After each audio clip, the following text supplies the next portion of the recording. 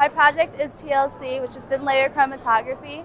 You do take a sample of lipstick and you rub it on filter paper, and then you take the component dyes with petroleum ether and separate it out. So you can tell, if given an unknown sample of lipstick, you could tell which specific brand and shade each lipstick is. Which would be useful if it's found at a crime scene, it's like lifted, and you can compare. I always wanted to be a detective, but I didn't want to become a, like to become a like a crime scene investigator. To become a cop first, I didn't want to do that, so I decided to do the lab portion versus going and going to become a cop and being promoted to a detective. So this way I can still get to see the evidence and solve the crimes, but I'm not like gathering it. My parents would like purposely leave fingerprints and stuff on mirrors and I would go around with my tape and lift it.